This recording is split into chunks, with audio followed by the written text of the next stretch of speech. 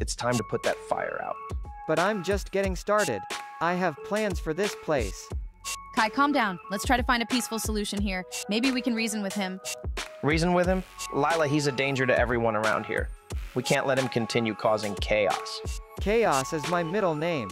I won't stop until everything is burnt to a crisp.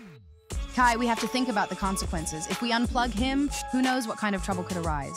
Let's try to find another way. Another way? Lila, sometimes you're just too soft. We need to take action and protect this place. Oh, I can feel the fear in your voices. It's music to my ears. I'll make sure you're the first ones to feel my flames. Kai, we can't stoop down to his level. Let's find a way to contain the fire and keep everyone safe. We can do this. Contain the fire? Lila, you're too naive. We can't trust him to stop on his own. We need to take matters into our own hands.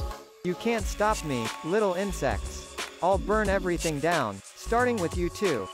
Kai, please, let's not resort to violence. We need to find a way to peacefully resolve this situation. There must be a way. Lila, I understand your optimism, but sometimes you have to fight fire with fire. It's the only way to protect what we love. You think you can defeat me? I'll show you the true meaning of destruction. Prepare to be engulfed in flames.